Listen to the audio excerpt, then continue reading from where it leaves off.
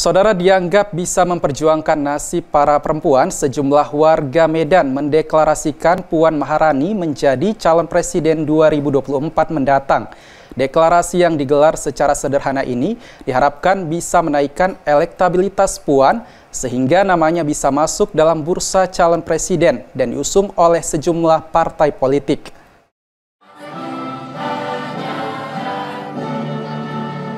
Acara deklarasi yang digelar di kawasan pemukiman padat penduduk Komplek Asia Megamas Medan ini dilaksanakan secara sederhana. Deklarasi diawali dengan menyanyikan lagu Indonesia Raya, pengenalan pengurus pusat relawan Puan Maharani Presiden, dan membagikan beras ke masyarakat sekitar. Menurut Ketua Umum Relawan Puan Maharani Presiden, Alian Napiah Siregar, sosok Puan sengaja dipilih menjadi calon presiden 2024 mendatang karena selain merupakan putri dari Ketua Umum Partai Demokrasi Indonesia Perjuangan Megawati Soekarno Putri, Puan Maharani selama ini juga mewakili sosok perempuan di pemerintahan. Salah satunya merupakan Ketua DPR RI, sehingga dianggap mampu menaikkan derajat para perempuan serta memperdulikan nasib perempuan di Indonesia. Namun Alian yang juga merupakan kader PDI Perjuangan ini tetap mengikuti arahan Ketua Umum Partai Berlambang Banteng tersebut.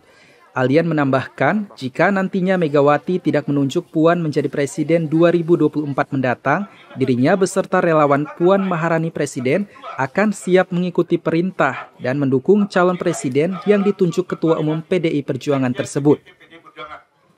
Memang seandainya Ibu Ketua Umum Megawati tidak menunjuk putri tercintanya menjadi presiden, ya secara tidak langsung kami akan mengikuti apa perintah dari Ketua Umum Ibu Megawati.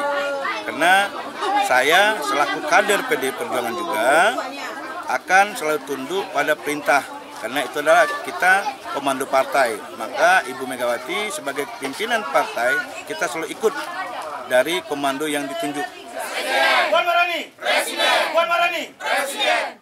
Di sela-sela deklarasi, relawan Puan Maharani Presiden juga membagikan beras ke warga sekitar lokasi dan disambut baik warga sekitar.